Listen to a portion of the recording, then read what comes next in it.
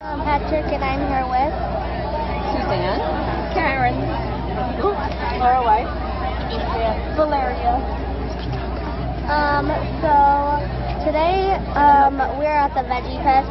Um, can you tell them a little bit about the Veggie Fest? Sure, this is Tampa Bay Veg Fest, and it's put on by Florida Voices for Animals, which is the local animal rights group in the Tampa Bay area, and we've been around for about 30 years. And what our mission is, is to teach people, well, to educate. We're an education group.